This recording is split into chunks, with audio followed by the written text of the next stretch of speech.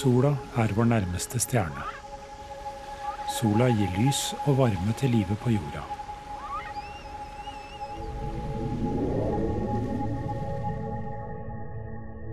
Men sola sender også ut sintere stråler. Ultrafiolette stråler og enda kortere røntgenstråler og gammastråler som kan skade oss. Luftlaget beskytter oss mot disse farlige strålene. Men noen hundre kilometer over bakken er atmosfæren så tynn at strålene trenger inn. Lyset består av små partikler, fotoner. De slår løs negativt ladede elektroner fra de få gassatomene som finnes. Gassatomene blir positivt ladede atomer, joner. Derfor kalles dette området for jonosfæren.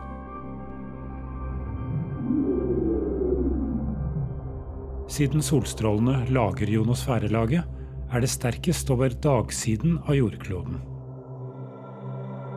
Men noen ganger tar jordas magnetfelt tak i skyene av elektroner og drar dem over på nattsiden. Disse elektronskyene forstyrrer radiosignaler fra GPS og andre satellitter. Og spesielt i nordområdene blir nøyaktig navigasjon viktigere og viktigere. Nye navigasjonssystemer i fly gjør det mulig å lande i null sikt med høy presisjon, forutsatt at signalene er til å stole på.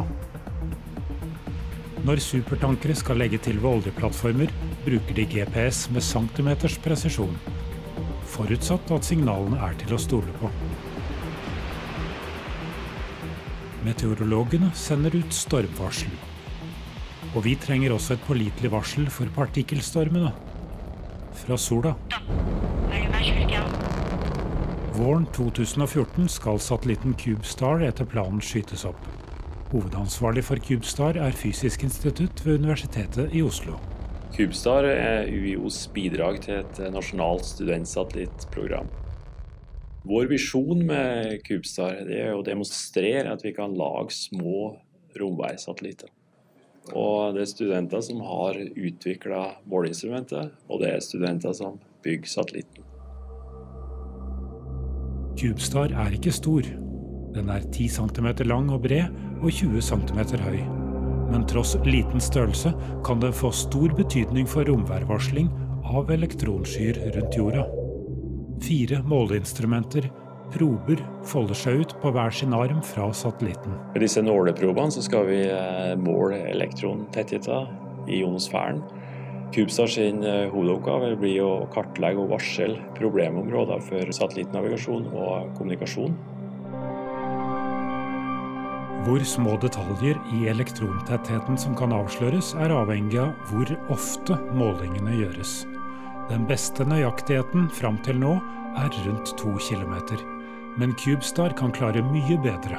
Vi vil foreta 7000 målinger i sekundet, og satellitten flyr jo med 7000 meter i sekundet. Det gir oss én meter oppløsning.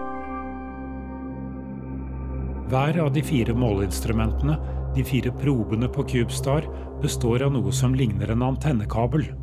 De måler den elektriske strømmen som elektronene lager.